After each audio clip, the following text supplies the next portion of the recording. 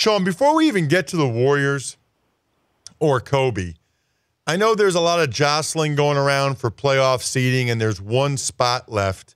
Tell me why I should care. You know, this is when my NBA fandom really kicks in. Seems to me like there's four or five teams that have a legit shot at this thing.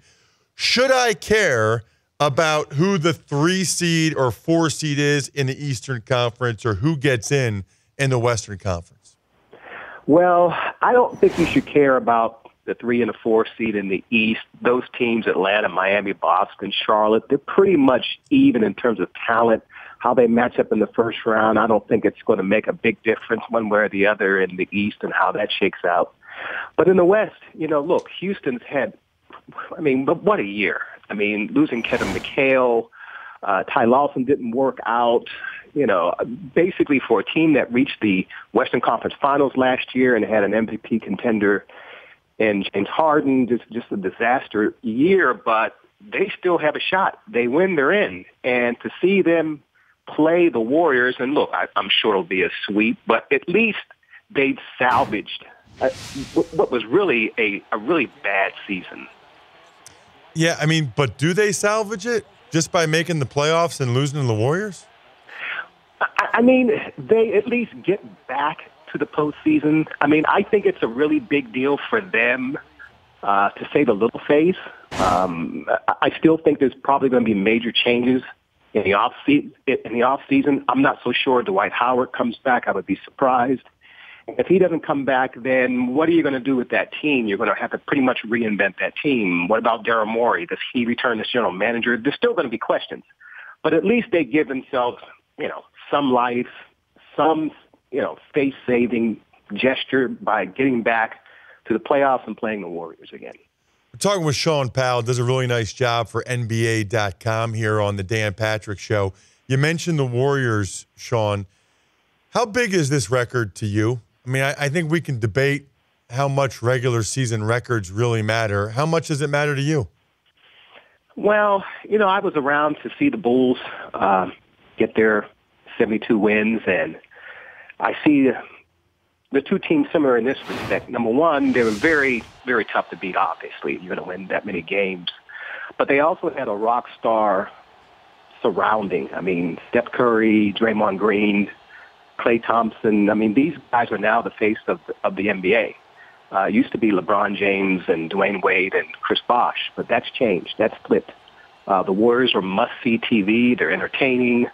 Um, they're bringing in the casual basketball fan. A lot of fun to watch. Very positive for the NBA all around. And they're pretty much an enjoyable bunch, starting with, you know, Steve Kerr on down. So I think that's all good. I mean, what it means, I mean, I don't know. I, I think we can't answer that question until after the NBA Finals. If they win the championship, then yeah, it's a big deal. But getting that record and not getting the championship, then I think it's sort of a more of a hollow feeling. So give me give me a percentage chance in your mind that the Golden State Warriors repeat, that they win it. I mean, are we talking 50% chance in your mind or 90% chance that they win it all again? And if they don't, who beats them? Well, Ross, I think it's probably their championship to lose. Um, of course, I was watching the Masters and I saw you know, Spieth, what after the what eighth, ninth hole, and I thought you know the tournament was his to lose, and obviously he lost it. Uh, but can you imagine being this team four times in a seven-game series? Um, uh, you know, that's very tough to imagine. I mean, right now in the West, you know, the teams trying to prevent the Warriors from getting to the NBA Finals. I think you have to narrow it down maybe to the Spurs and Oklahoma City Thunder. Uh, we don't know what the Clippers will look like when Blake Griffin gets back, but even with Blake, they haven't been able to handle the Warriors. Uh, so, I mean, those are the only two teams that can really trip them up. The Warriors are pretty deep also, Ross. You got to understand that Steph Curry doesn't have to play 40 minutes a game like Jordan had to play 40 minutes a game for the Bulls. Steph Curry doesn't have to do that because they're, they're deep, well coached, they pass the ball, they play well. Look, I'm not telling you anything you haven't seen. Uh, and then when you look in the East, who can stop the Warriors other than the Cavaliers? I know Toronto's played them very well this season, uh, but it's that's just the regular season, and Toronto may not even get out of the East.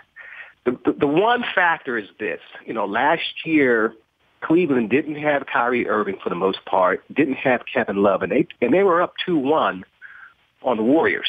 And so people would say, well, you know, those guys are healthy, they're going to play a more competitive series. But of course, LeBron James had to play out of his mind for them to get up 2-1. Uh, I just think right now it's the Warriors to lose. I think, you know, based on what we've seen in, in a regular season and what we know this team is capable of doing, of doing in the postseason, I'd be very surprised if they didn't get a championship. Yeah, I think it's a good point, Shaun. I was watching them Sunday night. I couldn't believe how long Kerr kept Steph Curry out, and they extended their lead when Curry was out. Which it's just, it's frankly amazing. I love them. I hope they beat the record t- uh, tomorrow night. I think that they will. And even though I'm 37, Shaun, I grew up, you know, with the Bulls. I'm frankly tired of hearing guys from that era act like they would kill the Warriors. They they'd sweep them. It wouldn't even be close. Do you buy that argument whatsoever? Well, you know, Ross, that's the ultimate talk radio water cooler discussion about a scenario that we'll never see. Uh, um, you know, people will say that you know with the with the rule changes, you know, you you, you can't hand check Steph Curry, and so therefore he's going to go off. Well, if, if if that's the case, then you couldn't hand check Michael Jordan. How many points would Michael Jordan average in that series? Um, I was lucky enough to see the Jordan, I mean Jordan and the Bulls at their height, all six championships, and now I'm watching the Warriors. Uh, I just think it would be very interesting, a very interesting series. But anything that I say, what difference does it make? We're not going to see it. I can tell you this. If the Warriors were to play the Bulls right now, they'd probably win because Michael Jordan's over 50. and if the Bulls were to play the Warriors back then, they'd probably win because Steph Curry was only seven. And really, that's really that's the only way you can really look at really look at it and get an accurate you know, assessment of the situation. Yeah, I, I, just don't remember teams shooting and passing like the Warriors do. I, I love it. I'm with you. I think they should be on national TV every single game next year, and I'm not kidding. I do want to ask you, Shaun, one question about Kobe Bryant. So this might not be that popular, but I think it's a legitimate question to ask. He's obviously one of the best players of all time. Fantastic career. But when we're sizing up Kobe against a guy like Magic Johnson or Michael Jordan or LeBron James, maybe someday, or maybe even Steph Curry, how much credit do you give Kobe for the three titles he won with Shaq? In other words, I know that all these guys had a good player with them, but Michael Jordan was still the best player on those Bulls teams. And Magic Johnson was still the best players on the Lakers team, and LeBron, et cetera, et cetera. Whereas, as good as Kobe was and is, he I do not think he was the best player on those first three Lakers teams. So does he get the same credit for those championships, even though he wasn't really the alpha male those years? Yeah, I, I think you have to give him some credit. Look, Shaq was the best player on that team. Shaq was the face of the franchise. Um, not obviously not even coming close to winning without Shaq. But I think we saw a growth in Kobe those three years.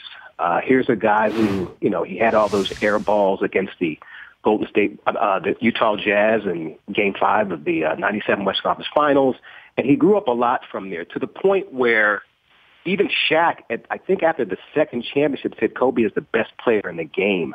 You know, you, you saw a guy go from he was 17 year, years old when he was drafted to pretty quickly becoming an an A-list star in about three or four years.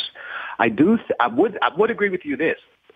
I think what what we saw from Kobe uh, after Shaq and during Pau Gasol was much more impressive than what we saw from Kobe with Shaq because he became a singular star without him. You know, we saw the MVP, the scoring titles, and then with Pau Gasol, I thought he well, he went to the finals three times and, and he won two of them.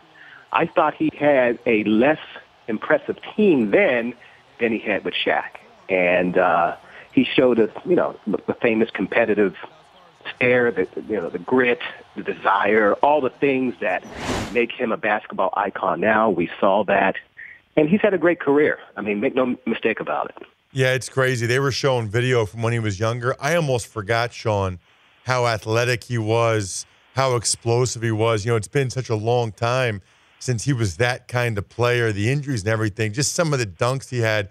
Absolutely incredible. Shaun, really appreciate the time and you hopping aboard. Anytime, Ross. There he is, Shaun Powell, NBA.com. Good stuff. The Dan Patrick Show, weekday mornings on Audience.